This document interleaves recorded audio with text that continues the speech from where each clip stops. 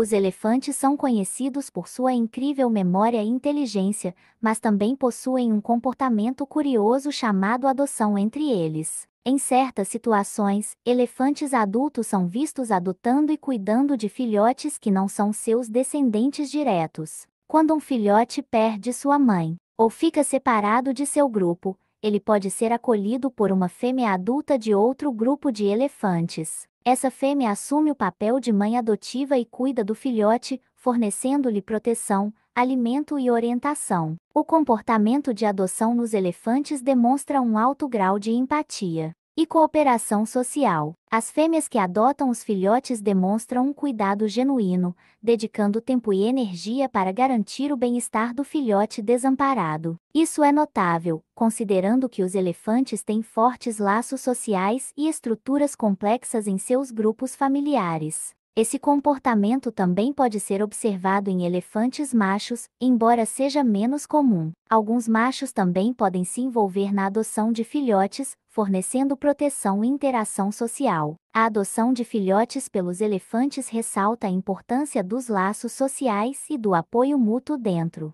dessas comunidades. Eles demonstram compaixão e uma capacidade notável de cuidar dos membros mais vulneráveis de sua espécie, independentemente do parentesco biológico. Essa curiosidade sobre os elefantes nos mostra mais uma faceta fascinante desses majestosos animais, que são verdadeiros exemplos de inteligência e comportamento social complexo no reino animal.